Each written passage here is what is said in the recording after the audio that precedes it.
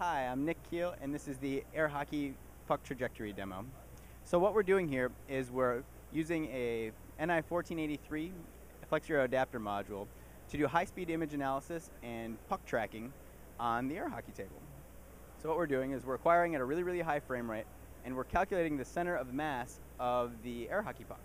And when we do that is we pass that air hockey coordinate, those coordinates, to the controller, which is an 8130, an NI PXI 8130, excuse me, and that gets that data gets passed to a PXI 7833R.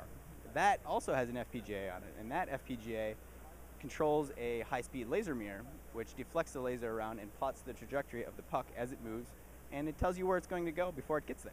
Uh, that's pretty much the air hockey path demo. Uh, be sure to, be sure to check out all the other demos at NI Week.